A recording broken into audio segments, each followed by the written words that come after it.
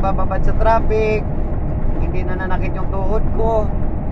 Dati ba di dyan ako sa pier mula pagpasok mo ng ano, kuwari galing ka ng mga banda Santa Rosa, galing ka ng mga banda Santa Rosa, pasok ka ng Maynila, pier. Nako, nananakit yung tuhod ko. Pagdating dito sa Magallanes, palang traffic na. Hanggang doon na yan sa pier. Kaya nananakit yung tuhod ko dati dyan, buddy, sa ano, lalo na yung dala ko dati international. Nako, tigas ng clutch. Sa mga buddy ko na nakahawak naman ng international, di ba? Mga bad, alam nyo na kung ano katigas yung clutch na international kasi mechanical yung clutch hindi naman katulad nitong mga drive natin ngayon na parang mga kotse na yung clutch di fluid na yun talaga kable eh. kaya titigas ng clutch parang kotse na yung mga sasakyan ngayon mga trailer nga dinadala natin nalalambot na naman ang mga manibela preno. Dati nga may kasamaan pa kami buddy na pati talaga manibela niya mechanical. Tractor head yun ha? Ano katigas noon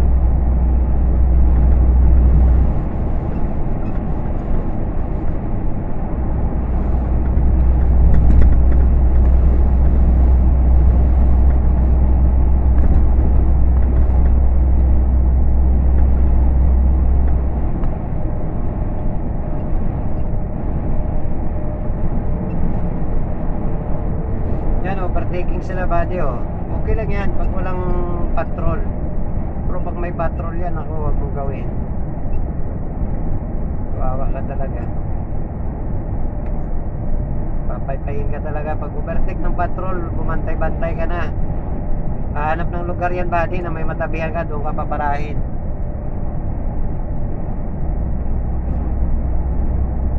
Doon ka pa titigilin.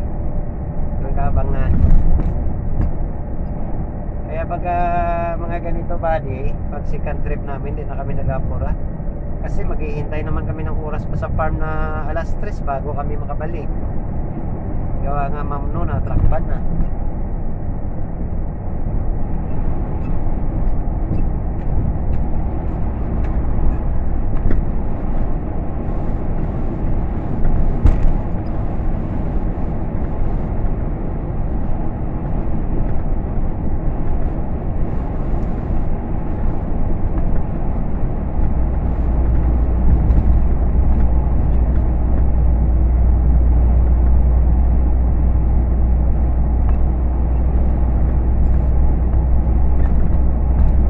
Kung hindi lang hindi na sana ako talaga magdadrive ng ano eh, ng trailer. Yan kasi sa Pilipinas buddy, ang operate ko dyan, ko na eh. Backhoe, loader, ah, crane, bulldozer. Yan ang inoperate ko dyan buddy sa Pilipinas. Nang umalis ako sa bus at saka sa trailer, nag-ibig operator na lang ako buddy. Yung lisensya ko buddy, linis. Inabot na lang ng ng renew body, hindi wala nakatikim ng tusok ng stapler. Pero nang sa bus ako body, nang sa bus ako, sabi ko sa inyo body, yung lisensya ko talaga tad-tad ang butas sa stapler yon. Kasi di ba sa atin, pag nagbayad ka, o oh, di, ganito, mamaya-maya, dikit naman doon sa kabilang resibo, tak, ipitin na naman ang stapler. Ang kawawa talaga yung lisensya body, no? Butas-butas talaga.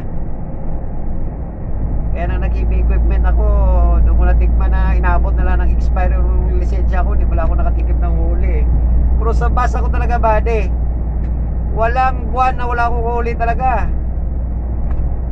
Halos nga, linggo-linggo pa eh. Kaya nga lang, dati kasi sa Friends Transport kami bade, may taga-tubos kami. Ipapa-xerox mo lang yung ano mo, yung resibo mo. MMDA man yan o LTO, papasirox lang yan, may tagalakad kami bahala na yan si boss sa ano doon yung tagakuha namin. Tapos i ano ka na lang sunod araw i-pinch ka na lang sa opisina. Ganito driver ganito yung lisensya mo kunin mo na dito sa office. Ganun lang yun. Kaya hindi kami dati nahirapan eh. Pero sa ibang company nako pag nahuli ka ikaw maglakad ng lisensya mo. Ikaw pupunta doon sa Orange Day sa MMDA o kaya doon sa may LTO sa may SW, mag-seminar ka ron. Yun, luhod kayo doon, walang upuan. Ka, ka ano kayo doon, kapukangkang. Alam mo ba yung para Muslim, yung walang upuan, dati ganun, naranasan ko yan dyan sa LTO. Lagi, ah, seminar ka eh, isang upuan wala. Doon, nakalumpagi kayo lahat doon sa may sahig. Ang hirap.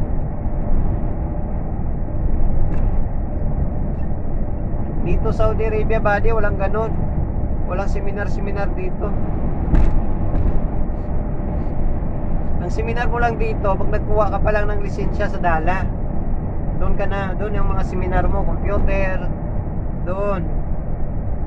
Driving, yun, doon lang. Pero pag naka-drive ka na, wala na eh. Pag nagkaroon ka ng violation, rekta, ano, bayaran ng opisina, depende kung ilang beses mo pa ng violation yun, dadagdag na lang ng dadagdag yung ano mo, multa mo. Palaki ng palaki kasi naka-record yun eh. Pero seminar wala eh, walang ano dito na katulad dyan sa atin na pag nahuli ka ng pangalawang bisis, pangatlong bisis, suspindi ka ng ano, suspindi ka ng isang buwan, tatlong buwan, o kaya ilang buwan dyan bago ulit maano yung lisensya mo. Sa Saudi Arabia, wala man ganun. Basta pag nahuli ka, o first offense mo, ganun. Parang ganun ba, di ba? Nalaki na nalaki. Parang ganun.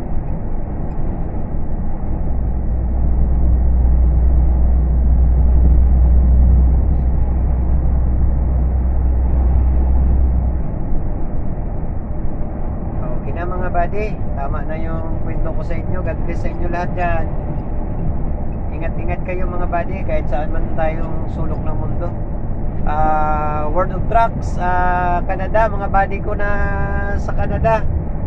Ah, namimili din ako minsan ng panood sa inyo dyan kasi ang ganda rin ng mga daan dyan. Musta kayo dyan mga buddy ko sa World of Trucks? Ah, ako wala na siguro chance sa mga buddy ko na makapunta pa dyan sa Canada na yan kasi over na ako sa edad eh 48 na ako eh. Kaya manood-nood na lang ako mga buddy ko sa vlog nyo dyan sa World of Trucks. Ah, may nag-add nga rin sa akin na World of Trucks sa FB ko eh. Musta na lang kayo dyan mga buddy ko ah? Europe, ah Canada, Amerika. Saan sulok pa tayo ng mundo? Ah, ingat-ingat kayo mga buddy. God bless po sa inyong lahat sa lahat na driver po Bye bye. Thank you mga buddy ha sa pag-like at subscribe nyo rin sa channel ko. Ah, siguro marating ko rin balang araw yung yung katulad nyo na marami ng ano, marami ng nagpapalo. Sana marating ko rin yun. Bye bye mga buddy. Bye bye.